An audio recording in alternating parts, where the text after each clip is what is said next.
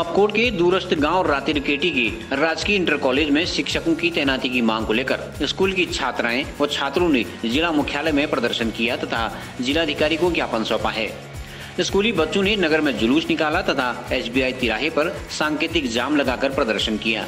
कपकोट के पूर्व विधायक ललित फरसवाण तथा जिला पंचायत सदस्य हरीश ऐठानी ने भी रातिरकेटी के छात्र छात्राओं को समर्थन देते हुए जिलाधिकारी से वार्ता की। उन्होंने कहा कि परीक्षा से पूर्व इस तरह बच्चों का सड़क पर उतरना दुर्भाग्यपूर्ण है। इधर जिलाधिकारी विनीत कुमार ने बताया कि वहाँ पर शिक्षकों को भेजने की व्यवस्था की जा रही है। बागसर जनपद के लास्ट गाँव रात्रिकेठी में एक इंटर कॉलेज नाम पड़ता है और इंटर कॉलेज में जो है 2014 में उच्चीकृत हुआ था, लेकिन उसमें अभी भी जो है विज्ञान के प्रवक्ता के पद अभी भी पूरे खाली पड़े हैं, सात साल हो गए हैं, लेकिन हम तो अभी भी, अभी अब अपने ऊपर महसूस कर रहे हैं कि हम अभी अशिक्षित हैं और हमारे बच्चे अशिक्षित हैं तो आज हम इन बच्चों को चौरासी किलोमीटर दूर से जो है, यहाँ पर अपने शिक्षकों मांग के लिए यहाँ पर लाए हैं। यहाँ से जो है, हम स्टेट बैंक चौराहे पर बैठेंगे, उसके बाद बाई रोड, पैदल मार्च करके कलेक्टेड डी साहब के यहाँ पर जाएँगे और वो बच्चे वहीं पर बैठेंगे। तो इससे पहले आपने मांग की थी कोई बात सुनवाई हुई आपकी? इससे पहले हम ज्ञापन कई बार दे चुके हैं और ऐसी एक बार तीन साल दो हज़ार अठारह में जो हम ऐसी बच्चों को लेके भी आए थे लेकिन फिर भी हमें ऐसा अभी तक कोई आश्वासन नहीं मिला और कोई हमें ठोस कदम में कार्रवाई नहीं हो पाई। आज हम यहाँ हम हमारी पढ़ाई होती है, वो हम पढ़ाई करना चाहते हैं, पर हमसे अच्छे से पढ़ाई नहीं हो पा रही है। एग्ज़ाम आने वाले हैं, हम पे बहुत प्रेशर हो गया है, हमारा करियर बर्बाद हो गया है। हमें पढ़ने का मन तो करता है बट कोई समझाने वाला है ही नहीं, हम कैसे पढ़ें? हम कैसे बढ़े आगे? इसीलिए हमारी मांग ये है कि हमें टीचर चाहिए, किसी के भी टीचर नहीं है, पढ़ना तो हम सभी चाहते हैं पढ़ेंगे तभी तो देश आगे बढ़ेगा। हमें टीचर है ही नहीं हमारे स्कूल में। हमारे स्कूल में कोई सुविधा ही नहीं है टीचर नहीं है। हम कैसे पढ़ेंगे? ऑनलाइन पढ़ाई भी नहीं हो पाती नेटवर्क नेटवर्क नहीं। है वहाँ लाइट भी नहीं है। नेटवर्क कहाँ वहाँ नेट बैठ तो दूर की बात वहाँ फ़ोन करने के लिए नेटवर्क भी नहीं है। और वहाँ लाइट भी महीने में दो दिन या एक दिन ऐसी आती है वहाँ लाइट भी अच्छे से नहीं आ पाती है। हम पढ़ाई कैसे करें? यही सवाल है। हमें केमिस्ट्री बायोलॉजी फिजिक्स हमें पूरे पूरे विषय के टीचर चाहिए, क्योंकि हमें पढ़ना है। रामगंगा घाटी में 2014 के समय मैंने ये इंटर कॉलेज की स्वीकृति करी थी, पूर्व मुख्यमंत्री हरीश राव जी के द्वारा। और तब से अभी तक हमने वहाँ पर बहुत सारे फैकल्टी के टीचरों को वहाँ पर नियुक्त करा था।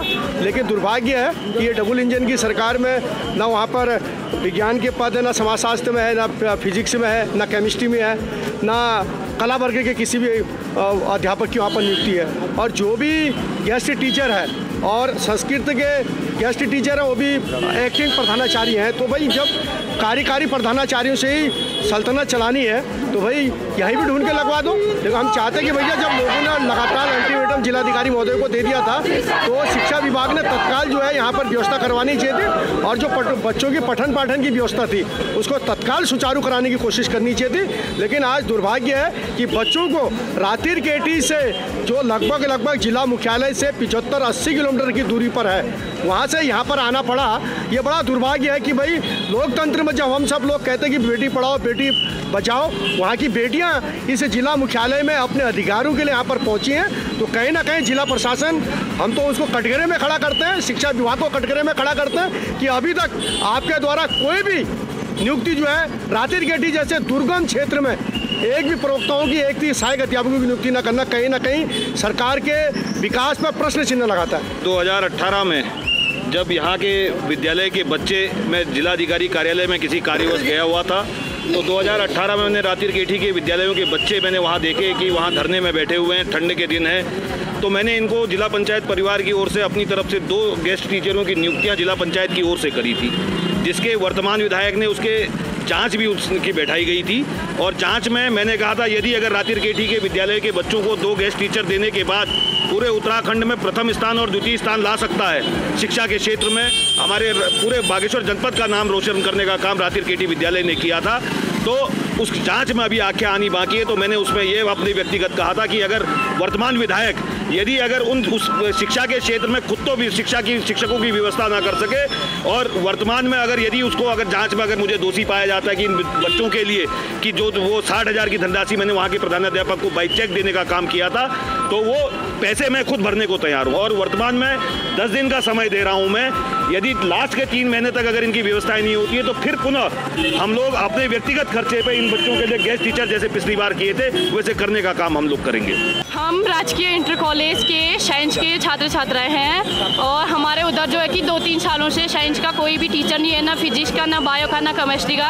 हमारा गाँव बहुत ही दूरस्थ क्षेत्र है, वहाँ ना तो नेटवर्क है और ना ही लाइट आती है। महीने में दो बार लाइट आती है और हमारे घर में किसी के घर में टीवी टीवी भी नहीं है और फ़ोन तो हमको पता भी नहीं है। वहाँ बात भी इतनी मुश्किल से होती है, ना नेटवर्क है, ना कुछ है और स्कूल के हालात तो दो तीन सालों से कुछ ऐसे हैं कि हमारी पढ़ाई हो ही नहीं पाती है, अधूरी रह जाती है। अब हम एग्ज़ाम आने वाले हैं। हमको इसी बात का डर है कि हम कहीं फेल ना हो जाए। ये हमारे पूरे करियर का करियर का सवाल है।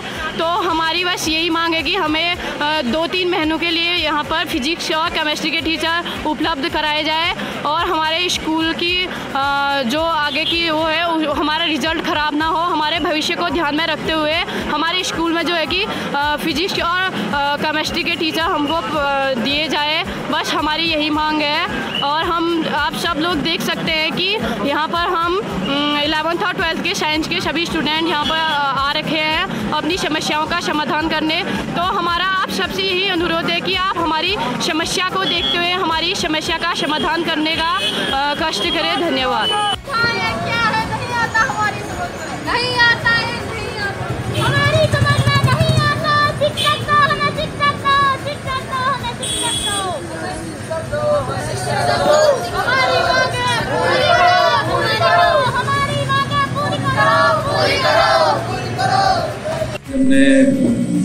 के कुछ जनप्रतिनिधि और साथ साथ में जो बच्चे हैं, उनके साथ हमने वार्ता करी और जो बेसिक इशू जो बताया गया है कि वहाँ पे कोई साइंस के टीचर नहीं है, जिस वजह से उनको दिक्कत हो रही है तो अभी हमने एक ऑप्शन इनको दिए थे। एक ऑप्शन तो हमने ये दिया था कि जो डाइट है वहाँ पे क्योंकि नौ ही बच्चे बताए गए कि नौ बच्चे हैं वहाँ पे ट्वेल्थ क्लास में जो साइंस के हैं।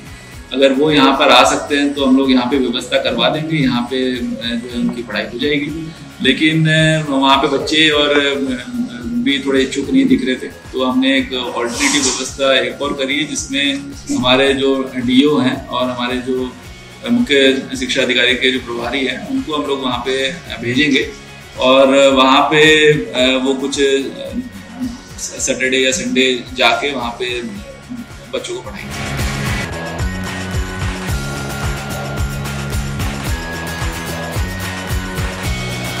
न्यूज़ के लिए सुरेश पांडे की रिपोर्ट।